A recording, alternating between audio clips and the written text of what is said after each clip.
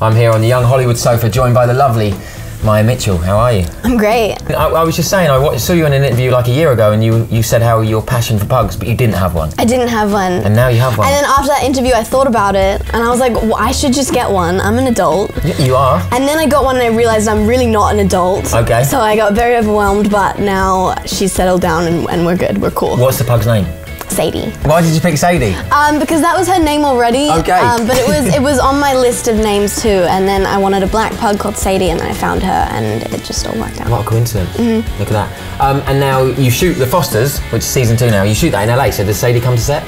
Um, she's not allowed on the Warner Brothers set, but whenever we're on location, she'll she'll come along with me. And your uh, your storylines in The Fosters have been quite. Uh, it's a challenging show, isn't it? It's a it's a like a roller coaster. You It go can through be. quite a lot. It can be, yeah. I think, especially the character I get to play, Callie. Um, she's yeah, she's had a really rough childhood and uh, and a really difficult upbringing, and so th- there, that comes with a lot of kind of heavy storylines and, Right, and, right. and things for her to kind of sort through. So yeah, it's it's really heavy. Um, there's a lot of crying, a lot of days when I go home and I don't have any tears left. Um, but no, it's fun. It's fun. It's, it's enjoyable. I like it. I like drama, and that's that's kind of what I'm passionate about. So. Okay. Is there uh, an episode in particular that sticks out as being one of the most challenging or even the most enjoyable for you? Yeah, there was an episode where uh, there's a death in the family. It's uh, Steph's father dies, and so uh, my character has decided not to live with uh, the Fosters because she's having this relationship with with Brandon, one of the children, and. Uh, she kind of has all of these memories of her mother's death, and they all kind of come back to life, and she kind of sees her mother's ghost, and um,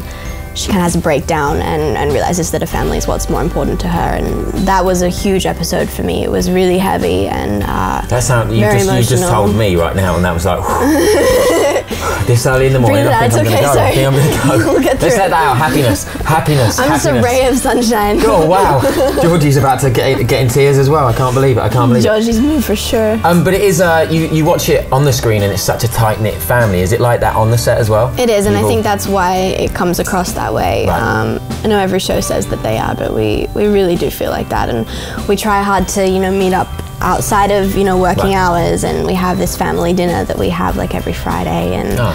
yeah, so it, it really is a close group, and I love them a lot. And your fans love it. Love the show. They're like hardcore committed fans. They are hardcore Yeah. committed fans. I know it. Yeah, they are are. awesome. They are. They're really really cool, and uh, and yeah, we enjoy that a lot. Actually, it's been It helps. scary but fun Right, and weird and awesome. Yeah. Yeah. Jennifer Lopez, executive producer. Yes. That must be quite cool. On the show. Does, is she is she hands on? Does she come and get involved? Yeah, she's been on set. Okay. Um, she's quite hands-on. Uh, she's always talking about the show and promoting it, which is huge for us. Um, yeah, we, we love her. she's Everyone awesome. does. Yeah, I love her. Think yeah. I mean, she's pretty successful. Jenny, Jenny from the block. Um, and another huge phenomenon is a Teen Beach movie. Right. That was like. Yeah, that that did well. It did well. It did well. It did Did really well. well. Uh, yeah, lots of children recognize me on the street now, which is funny and Do they expect you to just bust out a move? Yeah, Or sing they or something? do. Yeah. I'm not a good dancer, Okay. so you, you, you, you are. I, Don't be hard on yourself. I, I worked kind of hard at it, Right. uh, and I'm sure they, they did a beautiful editing job uh, Right. of me. Yeah, no, it was yeah. And can you tell us much about what happens in the second one as opposed to the first one? Um, yeah, so basically, uh, the I can't tell you how, but the '60s characters uh, end up in uh, the modern modern reality, Mm. and so we have to try and kind of get them home while they're in you know high school context, Right. you know, freaking everyone out. Interesting. Yeah. Interesting stuff. I love that. See, keeping keeping busy, making moves. But we've got the holidays coming up, which we were just talking about. Right. I'm going to Australia for a month. I'm just going to be off the grid and with my friends and family, and yeah, I'm excited. Any like traditions that you do or anything like that? What, what were you? Well, in Australia, it's it's really warm Right. during the holidays, so um, all my friends are going to be home because that's like kind of our summer break. And so usually I meet up with some friends on Christmas or family, and we'll go to the beach or like have Nice. a barbecue or something like that. I always wondered when you live in a when you grow up in like a hot country where it's hot at Christmas. Did it ever worry you about Santa coming down a chimney? Because you wouldn't. You probably wouldn't have that many chimneys if I it's mean, always. I feel like he has a summer outfit, no? I don't know. This is what I'm asking Like asking some you. red shorts with little. Uh, oh, okay. No? Never pictured No? Santa in red shorts. I'm sure some people have if they're into that sort My of thing. bad, but, my bad. but you never know. If I was going to go to Australia tomorrow, where should I go and three things I should do? You should go to Byron Bay. Because that's where I'm from. Okay. But it is actually beautiful. I'm Okay, very okay, biased, but you should definitely go there.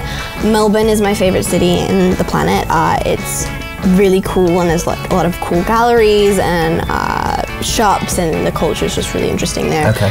And then I would say go to the Great Barrier Reef before it's all gone. Oh. Sorry, I'm such a downer. Can we start this again? again? Can we get some coffee or me something back, just, though. just to I bring be it? fun.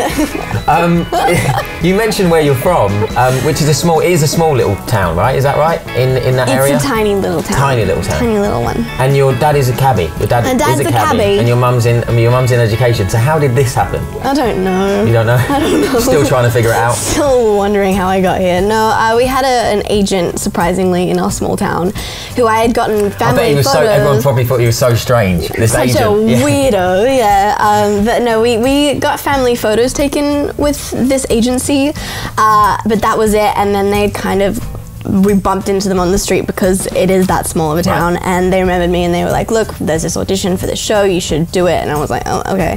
Uh, and I did it, and I booked it, and then kind of went from there. And I started working a little bit in Australia, but my parents were very, very strict about me staying in high school and Right. uh, staying in our town. And As they should be. Yes, uh, I, I'm thankful for it in hindsight, but it was enraging at the time. Uh, but yeah, no, so I had a pretty regular upbringing with like pockets of weird worky stuff. Right. Yeah.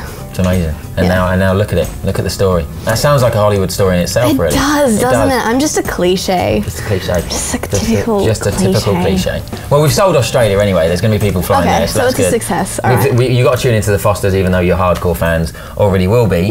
and we look forward to uh, Teen Beach Movie 2. Lovely, Maia Mitchell.